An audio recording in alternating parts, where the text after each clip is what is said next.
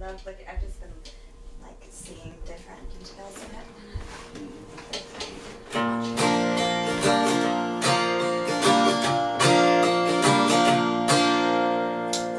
I'm Jacob, and this is Sara, and this uh, is a song we wrote called Inverness for the Gems in the Rough 2021 contest.